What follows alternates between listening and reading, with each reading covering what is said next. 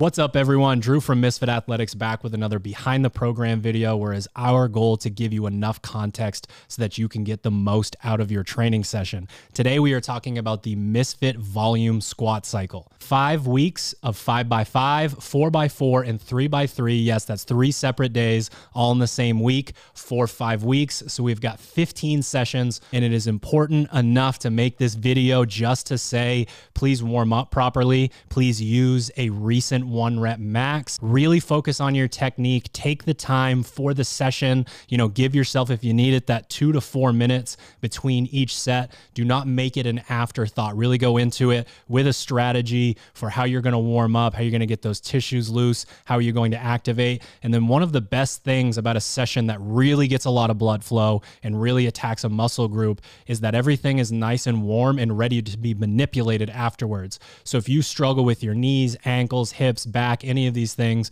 and you take the time to mobilize after your session is over, not only are you going to be able to set yourself up to tackle that next session, which is probably right around the corner, but you're also going to be able to make real changes within your mobility.